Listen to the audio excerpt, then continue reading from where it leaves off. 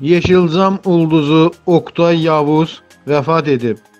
Biqaz Axşamaza istinadən xəbər verir ki, rol aldığı filmlərdə mənfi obrazı ilə yadda qalan aktyor 78 yaşında dünyasını dəyişib. Qeyd edək ki, Oktay Yavuz uzun müddətdir xərçəng xəstəliyindən müalicə olunurdu. O 16 gün reanimasiyada nəzarət altında saxlanılıb. Allah rəhmət eləsin.